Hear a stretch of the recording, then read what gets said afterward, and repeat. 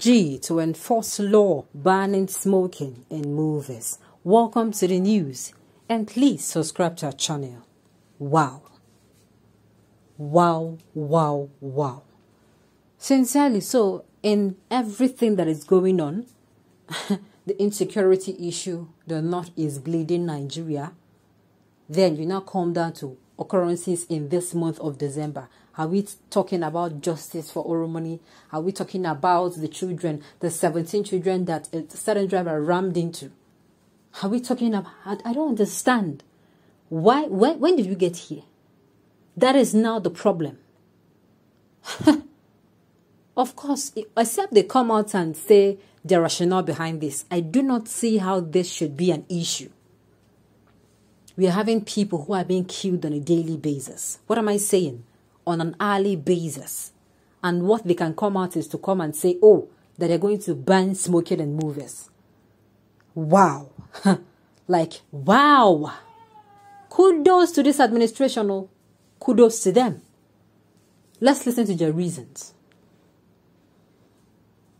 The FG said tobacco companies were including were inducing entertainers with money to glamorize smoking in the movies and entertainment sector. Now the news in detail. The federal government with stakeholders in the movie and entertainment industry planned to enforce the law banning smoking in movies. Adedayo Thomas, Executive Director of National Film and Video Censors Board, NFVCB, made this known on Saturday at a stakeholders roundtable in Lagos.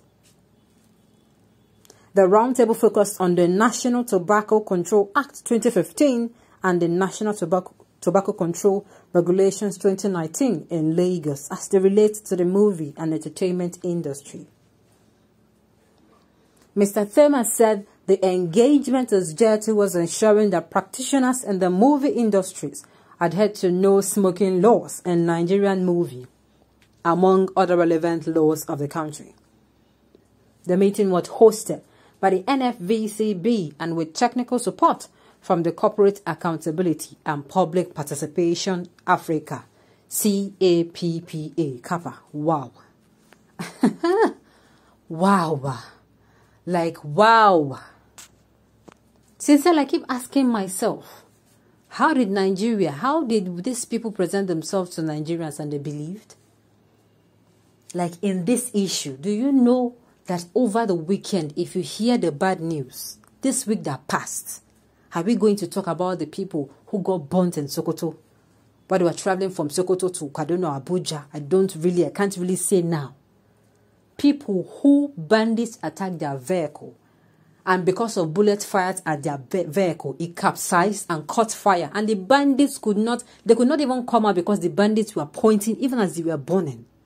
I even learned that a certain eight or seven months pregnant woman was in that bus. Like, wow. Yet, it is not enough for them to call for a state of emergency in these places. It is not enough. Now, as if that is not enough, is it for Sylvester that everybody is coming out to, you know, vent for? We cannot see what they have done. They have only come out to say they will ensure. They will ensure. And even over the weekend, we are hearing how, you know, the chief of the commander-in-chief of armed forces is coming, is telling savages, chase them. I'm saying, what, what use does it make? How many come, how many chase them have you said? How many make sure you deal with them have you said? How many will deal with them in the language that, that they understand? Have you said? How many we will have you said and nothing your willpower is not yet, is not willing anything to action? Somebody said if a whole, what did they call it again? A whole general, a former head of state that was a general, could come in and the, the insecurity in Nigeria escalated instead of even being, it was being treated, I mean, addressed. It escalated. Then what, what is the fate of a civilian going to make sure? Let me tell you to happen. Sincerely, and I'm going to say this and I quote, do you even know that Abacha, the great Abacha everyone knows, late General Abacha said any insurgency in any land, any insurgency in any land that lasts for more than 72 or 48 hours, that the government of that day or that time is actually responsible for the insurgency. It is not my word. I did not say so. I'm only quoting what he said. I am only quoting what he said. I am only quoting what he said. And in the middle of all this happening, what did we see? What can you see? You keep seeing them chasing clout. I don't know if this government wants to be popular on Facebook. You see them coming out to to say things that when you see it, you are like, ah, for crying out loud. Do you know people are dying every day? Recently, the Northerners now, the one that even shocked me was now, the Northerners that the Southerners are always complaining that they don't talk about anything that concerns them, that the South, the Southerners are always and always and always, always speaking for. Or they, these people, even when the Southerners speak for them, these people come and attack. Why? Because they are their town member, their ethnic member, their tribesman is, is one, or their tribes people are those in government.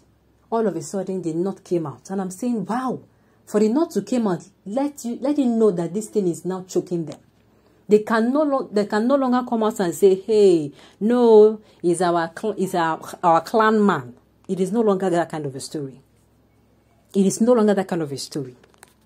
It is no longer that one of it. I mean, do you know how many, if you are even talking about insecurity, talk about the farmers and headers, how those governments have turned their backs on farmers. And yet they are telling the farmers, eh, we want people to keep producing rice in a security, in a country where there is no security, in a country where headers were given the go ahead to slaughter farmer. And this administration say we have, we have we have placed our solidly our weight is behind the Fulani headsmen.